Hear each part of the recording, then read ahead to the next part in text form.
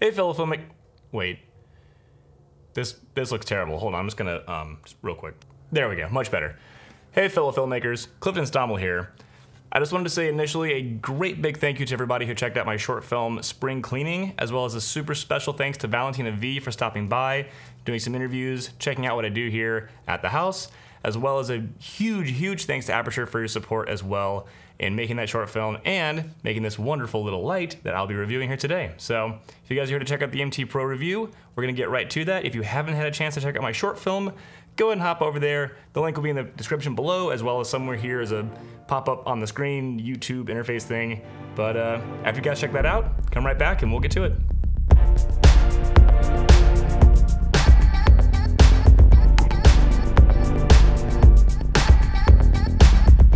Course, the reason you've come here today is this, the Aputure MT Pro.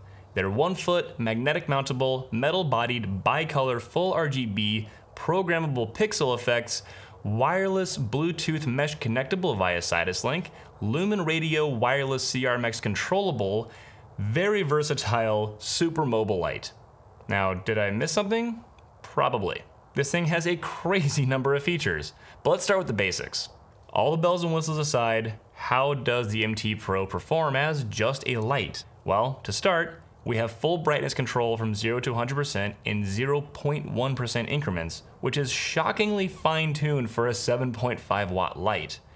And on the CCT mode, which stands for controlled color temperature for those of you who don't know, this will range from 2000 Kelvin to 10,000 Kelvin in the standard mode. When you switch it into expanded CCT mode, it will go all the way from 1500 to 20,000 Kelvin, which is amazingly broad of a range. And of course, my very favorite feature of any bicolor light that has an RGB option as well is the green magenta shift to match the available light in an area you may be filming at with say crappy compact fluorescent bulbs that are a little bit pink or those terrible, terrible mercury vapor bulbs in a, say, a gymnasium, which are super green and don't do anyone's skin tone any favors.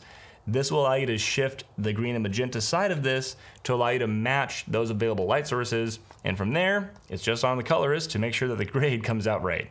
And speaking of an RGB mix, this is a full RGB light. In the HSI mode, which stands for hue, saturation, and intensity, intensity i.e. brightness, you have full control over just how much saturation and light you want to get out of this, and that can go a long way in your film. Granted, not every film has to look like the Neon Demon, but pretty much every film can benefit from a little color splash here and there, or a little chroma contrast that you build on site which again your colorist can push even further, like in this environment. And when it comes to the build quality of the MT Pro, it's just robust and straightforward. There's really no reason to complicate a one foot light, and they didn't unnecessarily complicate it. Everything on this that can be made of metal is made of metal, and of course we have our quarter 20 threads on bottom as well as halfway up the side for mounting hot dog or hamburger orientation, and a pair of very strong magnets that do a great job attaching this light in all sorts of precarious places you'd otherwise have a hard time mounting lights.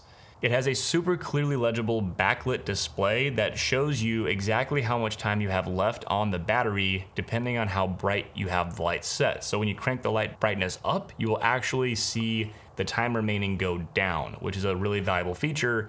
So it's not just sort of translating a percentage to a generic amount of time left, it's actually telling you based on the current settings, this is how long the light will last. The MT Pro comes in a protective semi-soft case or semi-hard case that has a little rubberized handle here, and inside of which comes a little tabletop tripod stand thing. Uh, this is a pretty cool sort of freebie that they throw in. I will say, well, this is a great option to just sort of toss the light up onto a stand if you want to throw it on a table, just sort of real quick to throw up vertically or horizontally.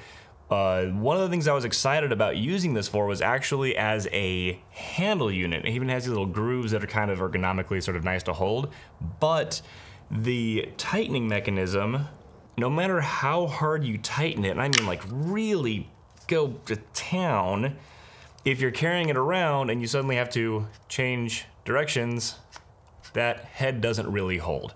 So it's worth noting that if you're going to actually use this as a handle and not just as a tabletop tripod for the light, you'll want to pick up a more robust one. And I'll share some links in the description below for accessories and things that I would recommend getting for this light, or really any other handheld unit that you might be messing with. Moving on, inside the box is also this super cool snap grid. Thank goodness for this. Aputure, I'm so glad that you made this, that you threw this in here. This object makes this light so much more useful and versatile. Um, Aputure's diffusion on their tube lights from the Amaran T2, T4 series, uh, and including the MT Pro, is such good diffusion, but it does create a lot of spill, just a lot of spread of light, which is a great thing when you want to use it to cast a great broad light with a nice reflection in your subject, like we have here, a four foot tube that I'm shooting with right now. The only problem that creates is when you do want to control the light, you do need some sort of way to channel that light to a source so you can get a nice rim without so much spill in the room or whatever you're using it for. I do wish that every single tube light of every length came with these because I find myself constantly making these sort of barn doors out of gaff tape on every tube light I've ever worked with that doesn't come with a snap grid. So big up to Aputure for including the snap grid on this thing. Really hope that they create one of these for the other tube lights that they have, uh, the T2C and the T4C, uh, because I'll be picking up a bunch of those snap grids in a heartbeat. Well, this is a great case for protecting a single light and amazing that they ship it in something like this. They really didn't need to get you something that's this robust and this protective. I will certainly be making myself uh, a four to six light pack of some kind where I can put all my lights safely into a single box to transport to and fro. A light like this is really great, but it really functions even better when you have like a set of them. So I'll be losing this, but if you only have one or two, awesome case to keep it in. Now what really makes the MT Pro shine are the pixels. This thing has 36 pixels in a one foot tube. What this means for you is that when you do the pixel motion effects, that you'll have less stutter and much more smooth, sort of seamless way that light appears to move organically. This is great for when you're doing effects like in my short film, Spring Cleaning, or if you even want to have this thing just sort of appear to be a light moving on a rail, you can have that effect where your shadows and your incidental lighting change throughout the environment because of how this light moves. This is an amazing tool to have and the number of pixels really gives you a ton of fine control. And of course, in terms of the standard effects, everything you'd expect to be here is here. Cop car, party mode, lightning flashes, so on and so forth. And a few of sort of Aputure's specific ones that aren't on every single other light you'd see, like faulty bulb is a particular favorite of mine. Of course, when you're using the Sidus Link app, you have a lot more control over how these different effects function and work. For example, the lightning, you get to choose how many strikes go off and exactly when you want to trigger the effect. And you can repeatedly trigger to get an initial number of strikes you want and then let it roll out for the rest of the effect. And I'm just gonna say it right now at this point, guys. If you have Aputure lights and you are not using the Sidus Link app, you are f***ing up. There's no other way to say it. These lights are great. The quality of the output is good, and yes, you can dial in most, if not all, the effects physically on the light. However, with other lights like the Aputure Amaran 200D, you get access to those effects inside Link. I mean, right now, seriously, if you guys are if you guys have Aputure lights and you've not downloaded the app, go download it. Go down, go, just go. I'll wait. I'll wait. It's cool. Okay, so this is not going to turn into a Sidus Link video, of course. We only have a limited amount of time, and this is the light I'm focusing on. If you guys would like to see me do an entire Sidus Link breakdown video and or tutorial slash guide slash how to, a workflow walkthrough if you will, let me know in the comment section below, and I will do that for you. So what do I think this light is perfect for? This one foot light does a great job of accomplishing quite a bit more than the MC could without being such a large form factor of a two foot light. Now, is this a key light?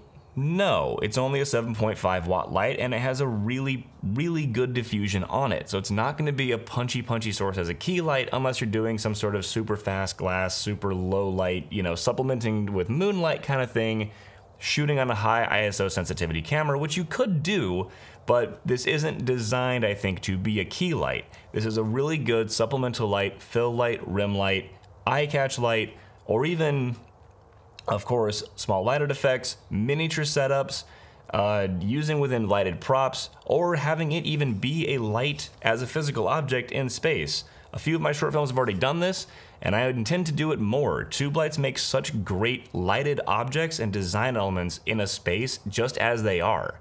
So what would I have liked to have seen different or added to this light? I would have loved to have seen wireless charging on this product. You guys already have it on the MC. It's pretty much a game changer. And your little multi-light case, the 4 and the 12 pack, where you can just drop the light on and it magnetically snaps into place and starts charging. That's such a cool feature.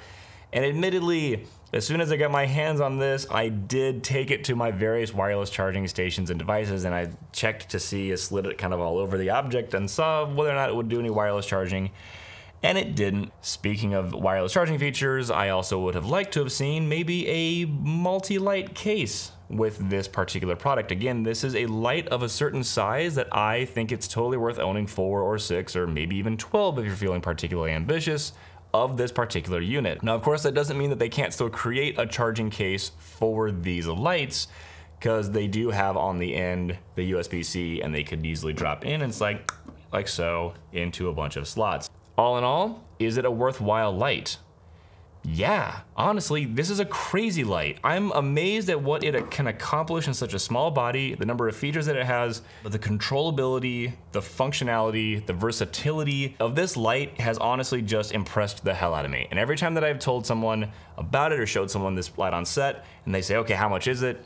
Again, around the $200 price point is just such a reasonable amount for a light that does everything this light does. Granted, it is the same price about as the T2C, which is a much bigger light that's a much punchier source, but it doesn't have nearly as many pro features like individual pixel control as this light does. And honestly, I'm personally gonna pick up five to six light kit of this particular unit, and this is for sure going in my permanent collection.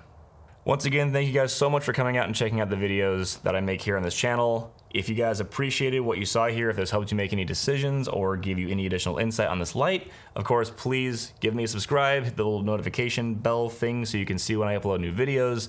And if you have any questions, comments, concerns, if you would like me to make the Sidus video or a different uh, workflow walkthrough, please leave it in the comment section below. Love you guys' feedback. Every time, just I love the love that happens on this channel, and as you know, I'm a real person and I'm here, and I will continue commenting and reacting and responding to every single comment on my channel because I, I appreciate you guys. And I will see you soon. Thank you so much. Bye.